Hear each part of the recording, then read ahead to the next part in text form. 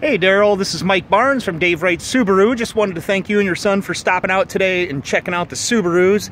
This is the 2016 we were looking at, and I, I didn't know if I mentioned, but it does have the heated, uh, outside mirrors are heated, and also underneath these wiper blades, they have the element bars. These lines will light up uh, or heat up in the wintertime, so when your blades are resting on there, they melt them. So that's really cool. I don't know if I mentioned that, but the heated outside mirrors, power driver seat. This is the premium model with the EyeSight.